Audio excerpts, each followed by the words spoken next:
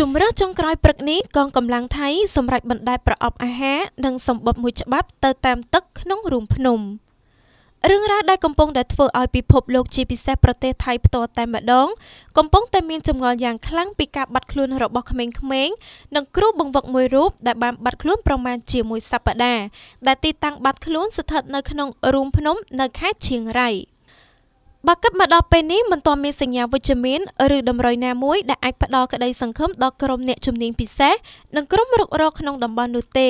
បើទោះបីជាការជួយផ្ទាល់ពីប្រទេសធំៗដែលបានបញ្ជូនអ្នកឯកទេសជាច្រើនមកជួយរុករកក៏ដោយទន្ទឹមនឹងនេះកងកម្លាំងថៃនៅតែសង្ឃឹមថាអ្នកទាំង13នាក់នៅតែមានជីវិតដោយជាប់ទៅនឹងកន្លែងណាមួយនៅក្នុងរូងភ្នំនេះលើពីនេះទៅទៀតក្រុមរុករកបានរៀបចំអាហារថ្មពិលខ្មៅដៃប៊ិច ក្រដាសនិងផែនទីក្នុងរូងភ្នំដាក់ក្នុងប្រអប់ដើម្បីបណ្តែតតាមទឹកសង្ឃឹមថាប្រអប់ទាំងនេះអាចហូរទៅកាន់កន្លែងអ្នកដែលបានបាត់ខ្លួនទាំង13រូបនេះ